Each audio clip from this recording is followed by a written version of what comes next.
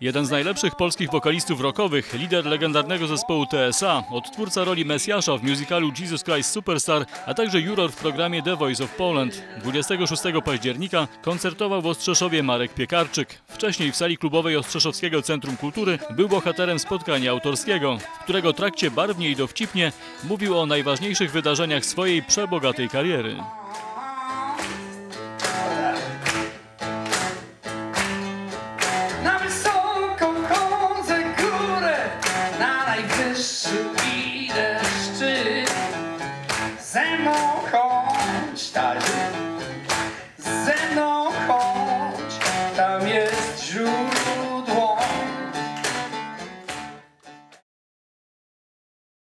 Dzisiaj wystąpię z, z gitarą akustyczną, z kahonem. Kahon to jest takie pudełko, na którym siedzi perku, perkusista. Jacek, mam, Jacek Borowiecki to jest ten perkusista. On ma bardzo dużo instrumentów perkusyjnych. I tak w miarę grania tych koncertów zacząłem mu to wyrzucać, bo to był balast e, niepotrzebny całkowicie.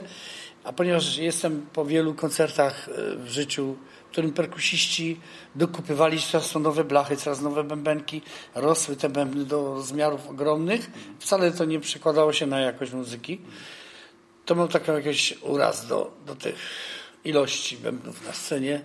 I teraz jestem szczęśliwy człowiek z jednym kahonikiem, ale do tego y, jak to piekarczyk, zamiast sobie emeryturkę tutaj ciu, ciu, to jeszcze sobie wymyśliłem smyczki, tam jakieś wiolonczele, dużo innych pomysłów, ale dzisiaj będzie, będą smyczki. I ktoś by powiedział, że kwartet smyczkowy powinien być, ale kwartet jest wtedy, kiedy nie ma gitary. a Ja mam gitarzystę. Tadzia z, mojej, z mojego miasta, Tadziu Apryjas, człowiek, który jest plastykiem, znamy się od lat i nie zdążyliśmy sobie krzywdy zrobić, chociaż z tego samego miejsca, z tego samego miasta jesteśmy. Ja też byłem plastykiem i tak dużo nas łączyło tak trochę powierzchownie, nie? ale jednak łączyło. I Tadziu gra w taki sposób na gitarze, że nie potrzebuje basisty w ogóle, bo on gra, no, słyszycie zresztą. To jest człowiek, który pokazuje gitarzystom, on no w ogóle nieświadomie to po prostu tak czuje. On to robi tak, jakby naturalnie przemyślał tą gitarę i, i tak, tak ją aranżuje dla samego siebie jakby, że ona gra arpeggia, wszystkie te akordy i, gitar- i bas również. To jest pełnia. Więc ja nie potrzebuję drugich skrzypiec. Nie ma tej pustki takiej. No ale bardzo potrzebuję wiolonczeli i altówki przede wszystkim. No tam przy, u mnie nie ma tak, że jakiś instrument robi pitu-pitu pod spodem.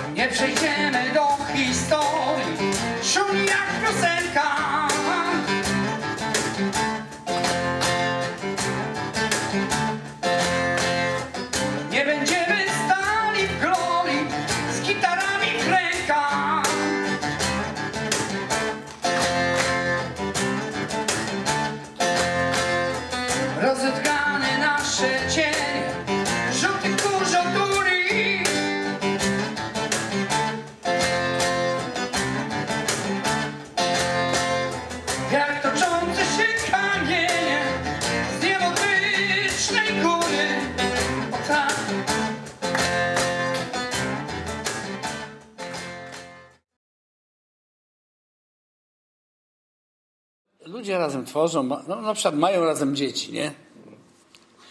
I na przykład jest um, mężczyzna lubi blondynki e, z, z odpowiednim kształtem, ale nadchodzi moment, kiedy jego żona przestaje być taką blondynką z odpowiednim kształtem, więc albo zrobi operację, albo zaczną się kochać inaczej. Czyli przejdą na przyjaźń, miłość taką rodzinną, jakby, jakby przeniesie się ten środek ciężkości.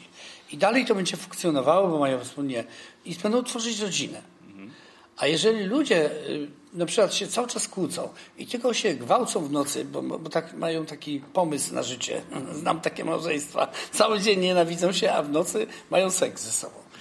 To z tego nic nie wychodzi. Nie ma rodziny. Tylko jest takie dwoje ludzi, którzy się szarpią całe życie. Dzieci biedne na tym cierpią. I właśnie nie da się, nie da się mieć dzieci. No. Jak się ma tak, takie podejście, że, że walczą ze sobą egoizmy.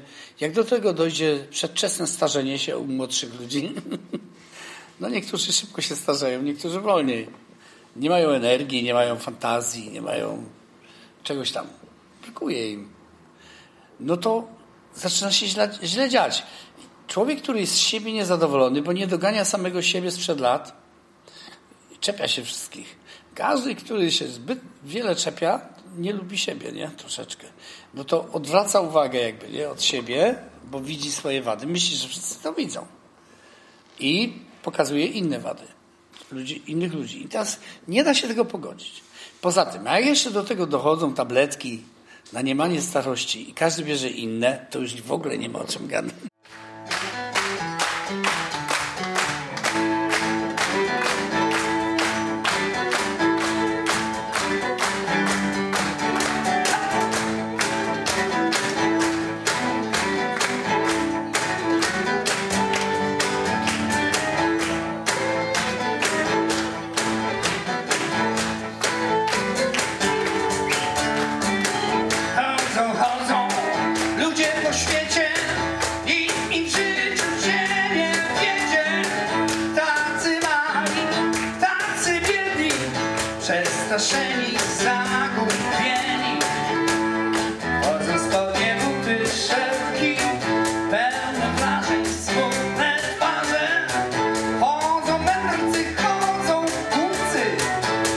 Chicago.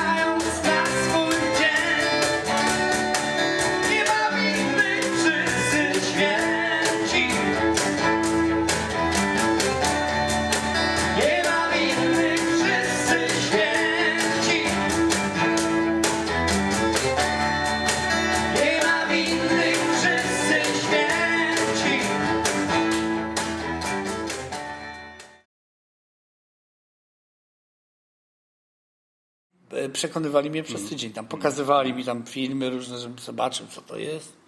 I jak zobaczyłem, że tam jest odwracenie tyłem, są ludzie, że to nie jest tam jakieś takie że przegląd, jak te wszystkie przeglądy, że pani Zosia, a ta Krzysia tam z panem Jackiem, a ten z tym, nie?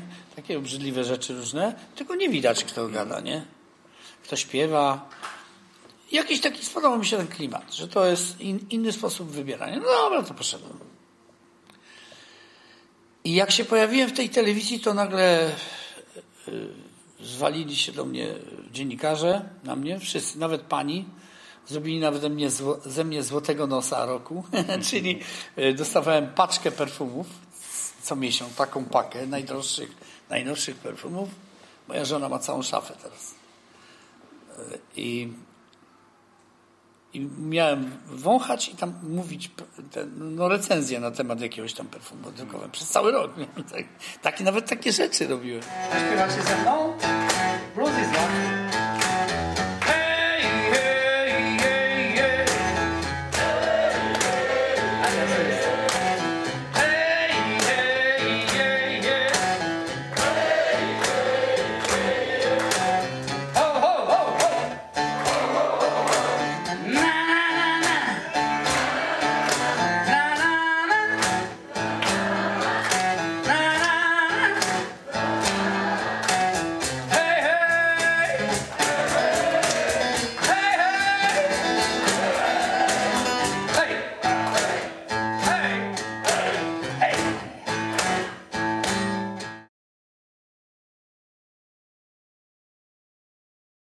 Zawsze mnie wkurzał ten bzdur, taki hmm. model e, rock'n'rolla niby, że, że rock'n'roll to jest takie demolowanie, bo to kiedyś wymyślili kolesie ang, angielscy menedżerowie, żeby bo cicho o jakimś zespole, no to zrobili skandal, rozwalili pół hotelu i już znowu pisali o nim. I nagle odkryli, że to jest biznes. Hmm. No jak było Sex Pistols? Sex Pistols zrobili taką demolkę po imprezie w jednym hotelu, że wytwórnia z, z, zerwała z nimi kontrakt. Głupia wytwórnia, bo druga zaraz przyleciała i podpisała na lepszych warunkach. Bo okazało się, że to był taki skandal, że wszyscy pisali i czekali na nagrania Sex Pistols. I dzięki temu skandalowi oni wyleźli. No niestety, tak, u nas też tak jest. No. U nas na negatywnych rzeczach wyłażą ludzie. Ten tam jeden e, podpali Biblię, drugi coś tam opluje no, krzyż, a inny jeszcze co innego wymyśla. Każdy coś wymyśla, żeby zwrócić na siebie uwagę. A inni po prostu sobie idą swoją drogą, tak jak ja na przykład. Nie muszę, nie muszę robić takich rzeczy.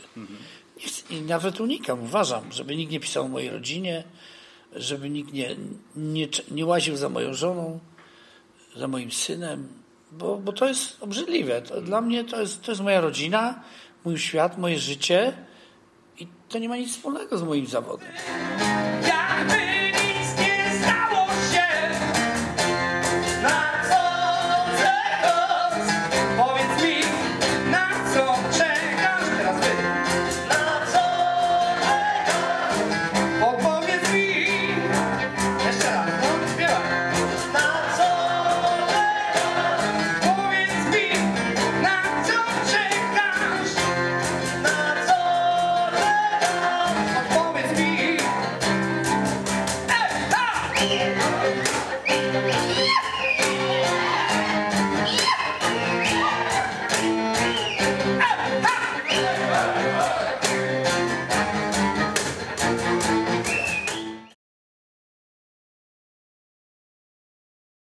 To są starsi ludzie po przejściach. Jeden walczył z rakiem, drugi siedział w więzieniu za to, że ukradł gitarę. Trzy lata dostał za gitarę.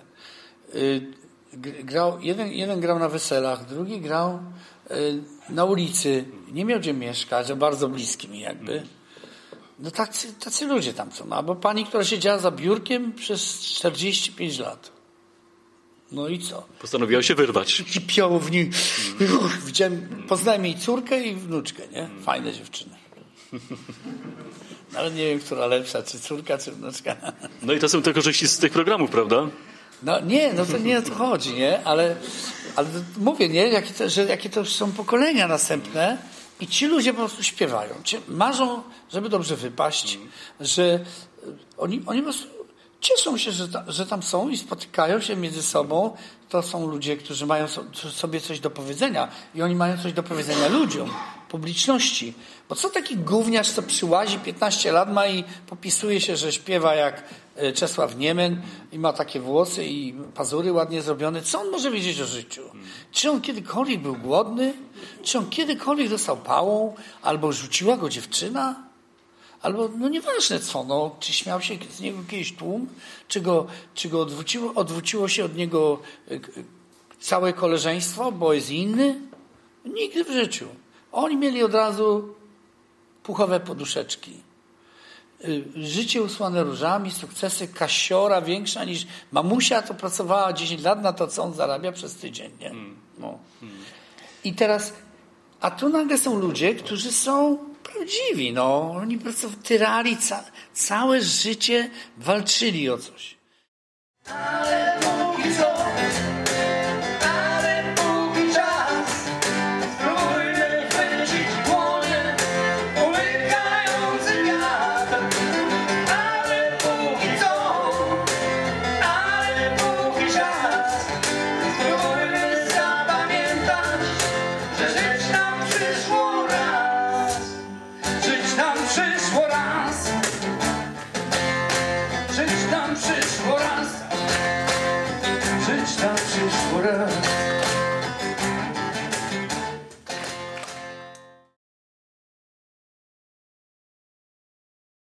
Ja mam się nie buntować, że Zenek Martyniuk jest w telewizji?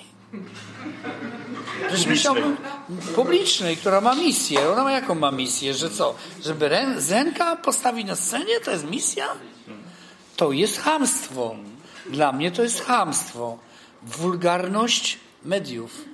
Jak widzę disco polo w telewizji, to są to wulgarne media. Y, Uważa, są, znam ludzi, artystów, którzy mówią brzydkie słowa, nie zacytuję, ale są mniej wulgarni od tego, co śpiewa o miłości na tej scenie, jako na przykład Zenek Martyniuk, albo jakiś inny chlopcy, czy coś takiego. Obrzydlistwo. Bo to jest wulgarne.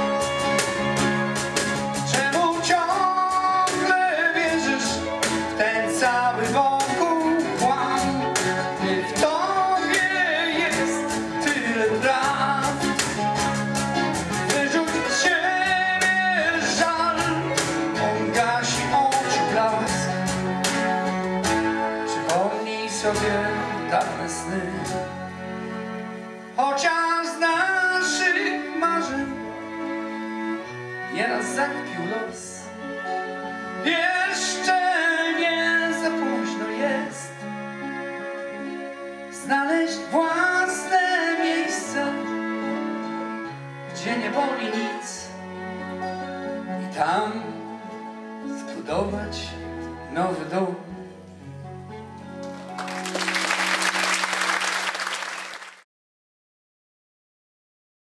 Cały czas coś się dzieje nowego i cały czas coś nowego wymyślam. I chcę pokazać ludziom, że rock'n'roll to nie jest tylko łojenie. Rock'n'roll jest myślenie. Rock'n'rollowiec to nie jest ten, co ubierze skórę. Nie. Jak gdy pan dyrektor włoży skórę i wsiądzie na Harley'a, to jest panem dyrektorem w skórze na Harley'u. A jak rokowiec włoży marynarkę, to jest rokowcem marynarce.